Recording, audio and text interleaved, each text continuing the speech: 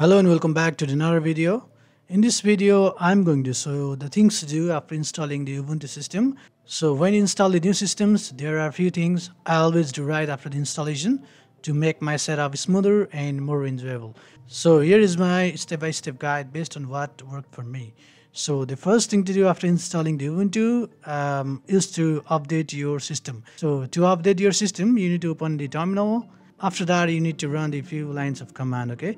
So at first uh, type sudo for the root privilege and type apt and type update. And type the password for your root account. So again after that type sudo apt and type upgrade. So basically it will uh, overall upgrade your system. So after the updates are done uh, make sure that you restart your system. So all the updates are applied successfully So another thing uh, to do is to customize the Ubuntu dock. So for that you need to go to the settings. So after going to the settings, you need to go to the uh, Ubuntu desktop. So from here you can customize the dock. So the dock is the uh, panel. Uh, this is the panel which is in the left side of your screen.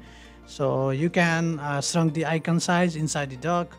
You can uh, turn on auto hide mode or even you can shorten the dock so it doesn't take up the full side of the screen so you can do a lot of things here. You can customize the icon size as per your need. You can configure the dock behavior. And you can also choose to auto hide dock. So when I uh, maximize this then the dock will stay hidden. Or if you want to keep it as it is then you can just uncheck this one. So if you want to get the more options then you can install the GNOME uh, extension manager by running a line of command in the terminal.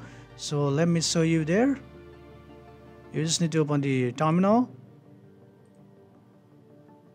So you can just um, run this command to install the GNOME extension manager. Type your root password.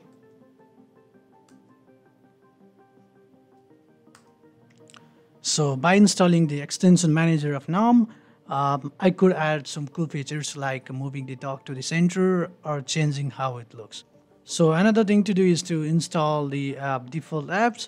So sometimes the system doesn't install a few apps uh, which I really like. So I just reinstall them for myself.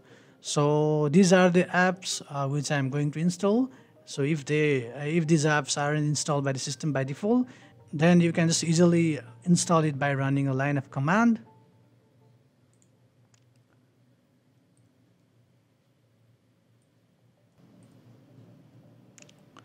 So I'll give this command in the description box so you can just copy it and run it from there. So here we go, these apps are successfully installed. So you can just get these apps from here. So here we go, the LibreOffice is successfully installed and there are other uh, bunch of applications too which will make your day-to-day -day work easy. So another thing to do is to add media codecs and fonts. So what basically it will do uh, it will it will help you to play mp3s watch videos use microsoft fonts. So for that you need to install the uh, restricted extras. So again you need to open the terminal and you need to run a line of command type sudo apt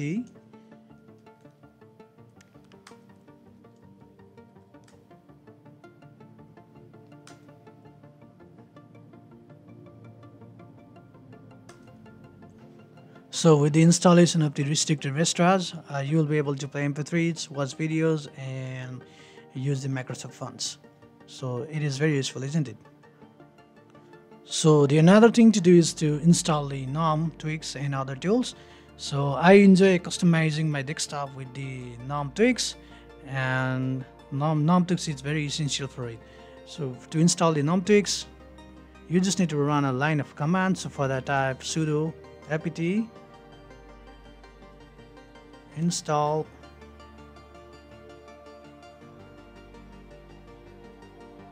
GNOME tweaks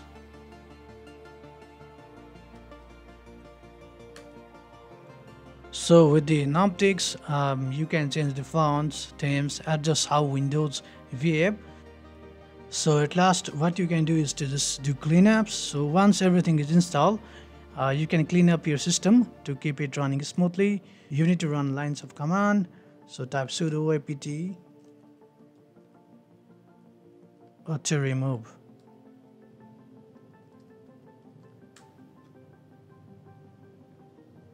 So this command removes any unnecessary packages that were installed but no longer needed.